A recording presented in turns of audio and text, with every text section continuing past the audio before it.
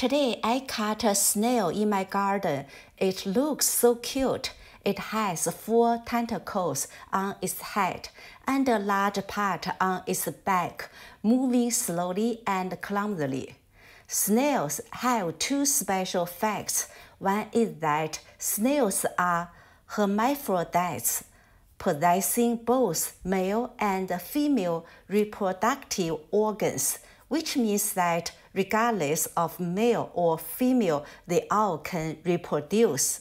The other fact is that snails have the most teeth among all animals in the world. This type of garden snails has about 1,400 teeth. Yeah, 1,400 teeth. This snail reminds me of a Chinese children's song about a snail, which I could sing when I was a kid. The song is The Snail and the Yellow Birds. Would you listen to my singing of it?